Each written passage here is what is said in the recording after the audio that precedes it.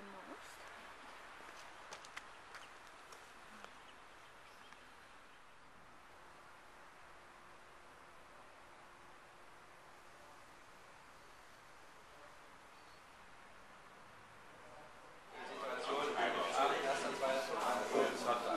Viermal hintereinander wir gesagt, Gott, dann machen wir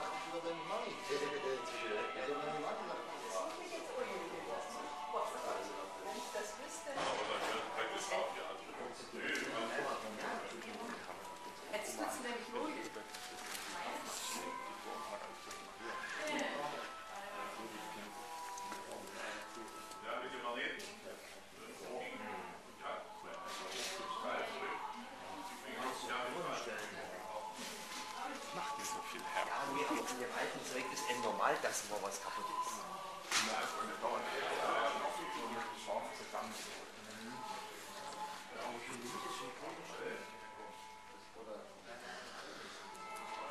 Irgendwann schläft es Das schläft alles in einem.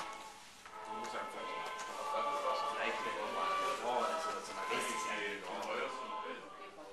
Der ist noch eingebaut unter der Krippe. Es sei denn, du hast eben einen USB-Stick irgendwie Bilder drauf. Wenn, der, wenn ich den neuen neuen Reserve anschließe, der hat den USB-Eingang, da kannst du direkt so Bilder über den Stick angucken. Wenn du so, so, auf sowas drauf hast. Tempo.